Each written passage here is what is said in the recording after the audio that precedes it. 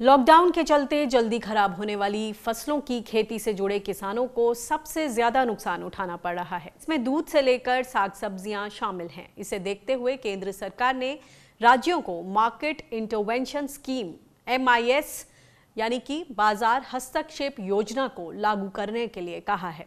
इसके तहत जल्दी खराब होने वाली फ़सलों की खरीद की जाती है। इसमें राज्य सरकार को जो नुकसान होगा, उसका आधा हिस्सा केंद्र सरकार देगी।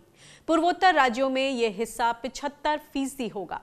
हालाँकि ये योजना कब ज़मीन पर उतरेगी, कब किसानों को राहत मिल पाएगी, ये बड़ा सवाल है।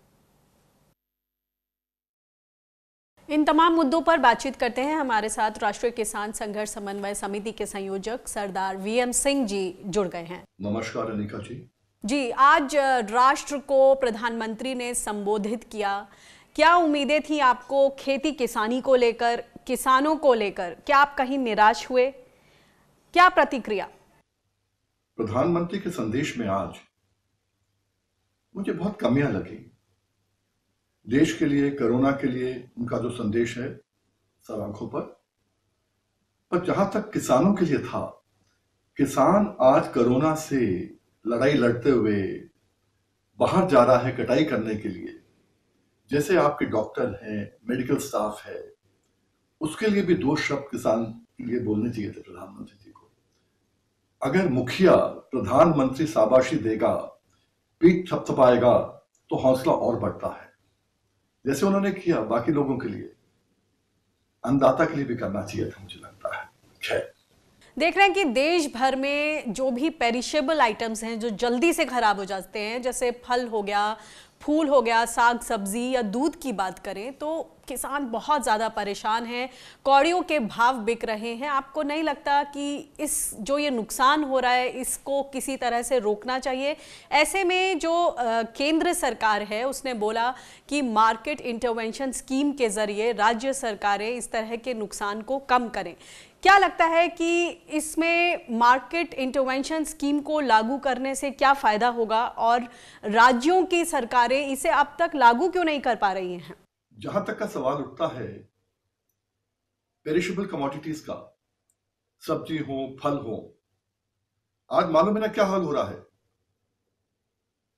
एक तरफ़ किसान लुट रहा है, कोई उठाने को तैयार नहीं है, और दूसरी तरफ़ उपभोक्ता लुट रहा है, उसको चार गुना रेट में खरीदना पड़ रहा है। यह संतुलन बनाने का काम कौन करेगा? सरकार करेगी।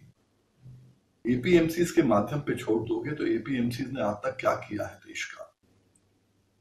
आज आपको खुद, सरकार को खुद संतुलन बनाना पड़ेगा कि ब्लॉक के लेवल से, तहसील के लेवल से उठाकर सब्ज़ियाँ या फल और आपको लाना पड़ेगा उपभोक्ता के पास। यही तो चुनौती है आज और चुनौती कैसी है।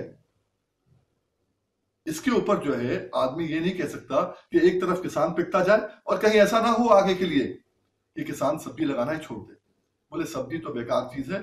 चलो, अगर हमने गेहूँ लगाया, चना लगाया, मक्का लगाया, धान लगाया तो कम से कम पक्की फ़सल है। और गन्ना, और गन्ने से पक्की तो फ़सल की होती नहीं है।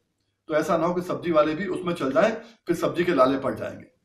हम देख रहे हैं कि जो बागवानी के किसान हैं, जो फ़सलें विदेशों में भेजते हैं एक्सपोर्ट मार्केट के लिए उनको भी भारी नुकसान उठाना पड़ रहा है। क्या इन किसानों को हो रहे नुकसान का कोई आकलन है? और इसके लिए क्या किया जा सकता है? जहाँ तक एक्सपोर्ट का सवाल उठता है, लीची हो, आम हो, सब्ज़ियाँ हो, ये एक्सपोर्ट जो है आज जब रुक गया है, जहाज़ चल नहीं रहे हैं। डिमांड है नहीं। यहाँ से आप भेज नहीं सकते। ट्रकों में लाद के आप दिल्ली नहीं ला सकते। दिल्ली में कंटेनर में डाल के आप आगे नहीं भेज सकते। तो क्या करना पड़ेगा? गवर्नमेंट को इंटरवीन करना पड़ेगा। स्टोरेज फैसिलिटीज़ अपनी बढ़ानी पड़ेंगी। टेम्पररी कोल्ड स्टोरेजेस बनाने पड़ेंगे। पुराने कोल्ड स्टोरेजेस को टेक ओवर करना पड़ेगा या उनको किराए पे लेना पड़ेगा और किसान को बचाना पड़ेगा ना। ये फिर सरकार के हाथ में है। जैसे मैंने कहा ऑटो पायलट पे तो देश चलता है ना। पर आज सरकार को काम करने पड़ेंगे दिखाने के लिए कि सरकार भी काम कर रही है देश को बचाने के लिए। केवल किसान के ऊपर लाद दो कि किसान कमा के देगा, भंडारण भरे हैं, हम सबको दे देंगे। पर किसान भी चाहता है कि उसकी भी मदद की जाए। केंद्र सरकार ये भी कह रही है कि एपीएमसी एक्ट में संशोधन किया जाए। किसान अपनी जो उपज है उसे मंडी में लाने के बजाय सीधे फार्म टू डोर डिलीवरी हो। क्या लगता है ये मॉडल इसको परखा जा सकता है? क्या दिक्कतें देख रहे हैं आप? ये जो प्रश्न है ना कि सरकार कहती है एफपीओ के थ्रू खरीद हो जाए डोर टू डोर बिक्री हो जाए कागजों में बड़ा अच्छा लगता है। कभी आपने इससे पहले इस्तेमाल करके देखा? जब नहीं देखा यह समय एक्सपेरिमेंट करने का नहीं है। हमारे उत्तर प्रदेश के मुख्यमंत्री ने परसों 12 तारीख में, एक शासन आदेश निकाला। एफपीओ चाहे तो गेहूँ खरीद कर लें। गाँव से, खेत से, और सीधा बेचते उपभोक्ता को। कहा है एफपीओस एफपीओस का नाम तो हम केवल बजट में ही सुनते हैं कि दस हज़ार एफपीओ को ये मिल जाएगा, ये मिल जाएगा। कहाँ है? ज़मीन की बात करो आज। है तो हमारे पास भेजो ना। कौन है? नहीं है। जब नहीं है, उन चीज़ों की बात ना करें जो काल्पनिक हो। आज केवल वही बात करो जो काल्पनिक ना हो, हकीकत हो, जिसमें किसान भी बचे और जिसमें देश को भी फ़ायदा हो, उपभोक्ता को भी फ़ायदा बहुत बहुत शुक्रिया वीएम सिंह जी इन तमाम जानकारियों के लिए।